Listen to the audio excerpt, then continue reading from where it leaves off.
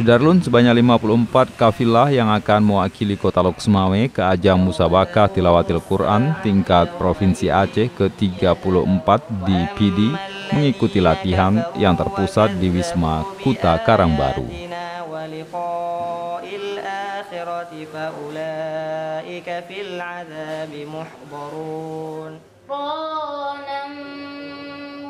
Latihan terpusat ini merupakan tahap ketiga atau terakhir karena pada 19 September 2019 mereka akan bertolak ke Sigli.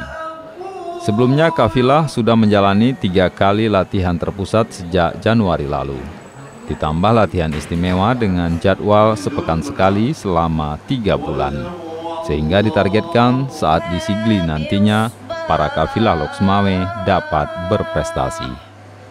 Alhamdulillah eh, persiapannya memang sudah kita rencanakan jauh-jauh hari bahwa kita akan uh, ataupun uh, uh, apa, melakukan pelatihan-pelatihan kepada para peserta kita untuk ke Sigli TC-nya yaitu TC boarding yang kita lakukan di Wisma Kota Baru ini memang betul-betul kita perhatikan dengan sebaik-baiknya. Artinya baik waktu yang kita disiplinkan, perhatian kepada anak-anak, pemantauan kita, kesehatannya, bahkan sampai di mana sudah penguasaannya semua kita pantau sehingga mereka nanti akan benar-benar tampil dengan sangat baik di sana dan akan insya Allah kita harapkan ya sebenarnya kalau kita berbicara tentang target uh, kita serahkan kepada Allah uh, karena keinginan kita jelas semua bahkan semua orang mungkin berkeinginan untuk menjadi juara umum pada dasarnya ya, namun demikian kita serahkan kepada Allah mudah-mudahan Allah memberikan yang paling terbaik buat kota Luxmoy